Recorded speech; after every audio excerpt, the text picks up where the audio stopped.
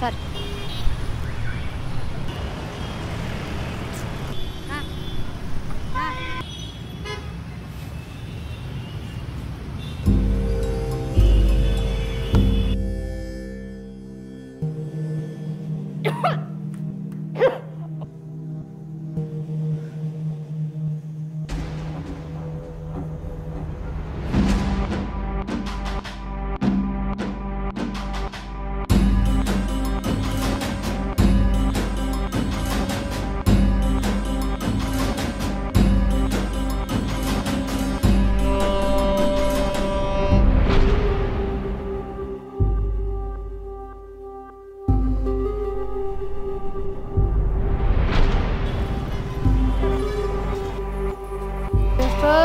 ಪಿಂಕಿ ನೋಡ್ಕೋಬೇಕು ನನಗೆ ಚೆನ್ನಾಗಿ ಸಾಕಿ ಹೀರೋನಿ ಮಾಡ್ತೀನಿ ನಾನು. ನನ್ನ ಮಗನ ಕೂಡ ಸುಳ್ಳೆ ಮಗನೇ ಪ್ಲೀಸ್ ಯಾರಾದರೂ ಹೇಳಿ ಅವ್ನು ನಿನ್ ಮೇಲೆ ನೀವು ಅವನ ಮೇಲೆ ಹೇಳ್ತಿರಲ್ಲ ಮಗು ನಂದು.